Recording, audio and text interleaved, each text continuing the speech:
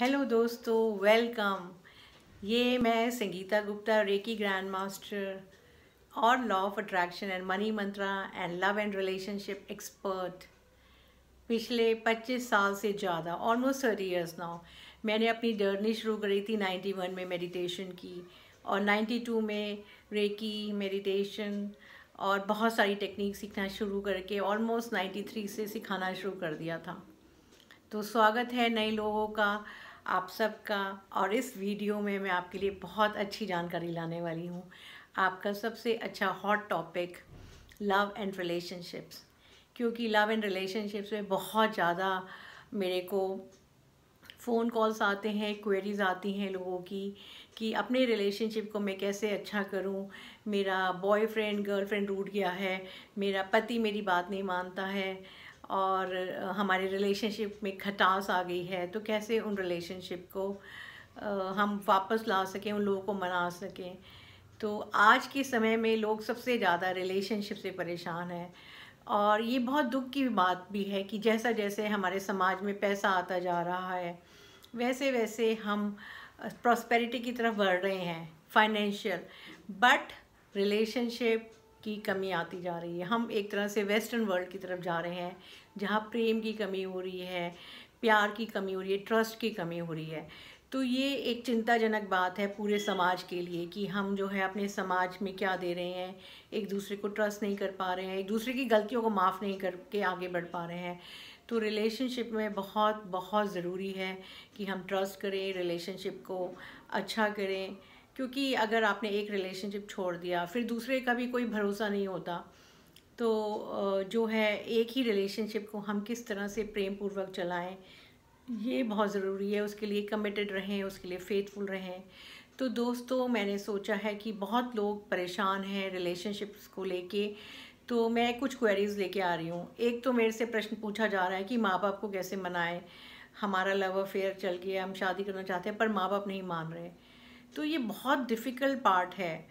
Answer uh, करना इसका मेरे पास कोई उत्तर नहीं है बट मैं आप लोगों से पूछना चाहती हूँ अगर आप एडल्ट हैं अपने पाँव पे खड़े हैं तो हर चीज़ पे माँ बाप मोहर लगाएँ ये ज़रूरी है क्योंकि माँ बाप हिंदुस्तानी माँ बाप बच्चों को बच्चा ही समझते हैं।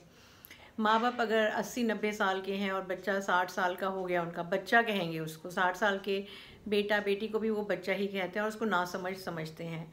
तो इंडियन मैंटालिटी पेरेंट्स की ऐसी है कि वो बच्चों को बच ट्रस्ट नहीं करते कि उनको डिसीज़न और बच्चे भी खुद को ट्रस्ट नहीं करते। तो यहाँ बात आती है कि बच्चों में अपनी डिसीज़न मेकिंग के लिए वो स्ट्रॉन्ग क्यों नहीं होते हैं?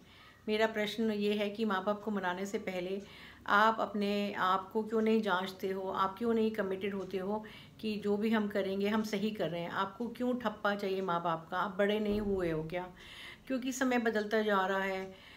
जब आप प्रेम करने जाते हो तो आपको पता है कि माँ बाप रिजिड हैं, मानेंगे नहीं। तो तब तो आप उसी समय पूछ लो माँ बाप से कि हम प्रेम करने जा रहे हैं दूसरे जाति के, दूसरे धर्म के व्यक्ति से। तो आप अप्रूव करोगे तो हम आगे बढ़ें। तो उसी समय पूछ लो या तो। पर अक्सर आप ऐसे नहीं करते, तब तो आप डरते हो। अगर आप डरते हो तो अपने डर पर काम करना चाहिए। जो लोग माता पिता से डरते हैं क्या डर है आपको? क्योंकि अब तो समाज बहुत इवॉल्व हो गया, अब तो ऐसा नहीं है कि आपको समाज से निष्कासित कर दिया जाएगा।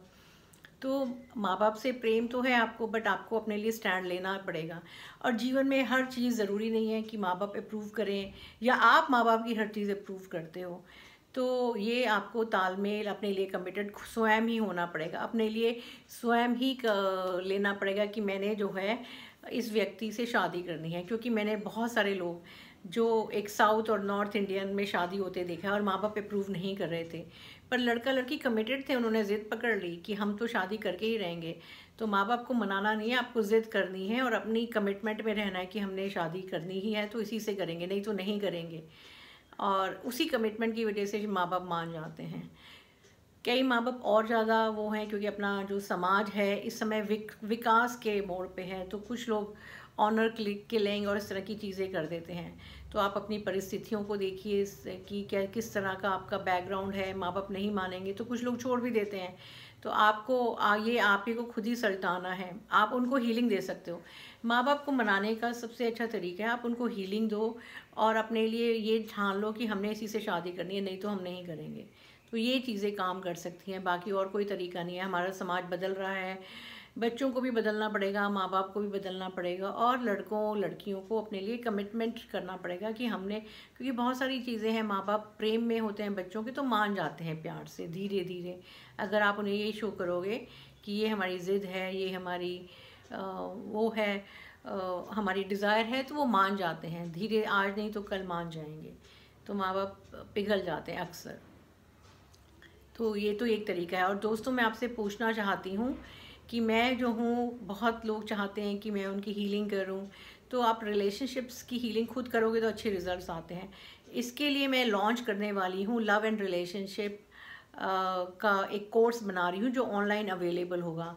तो इसके बारे में आपकी क्या राय है? आप लोग ख़रीदना चाहोगे लव एंड रिलेशनशिप में? उसे पूरी तरह से जानकारी है, उसको फॉलो करते रहोगे स्टेप बाय स्टेप तो आपका रिलेशनशिप बहुत अच्छा होगा।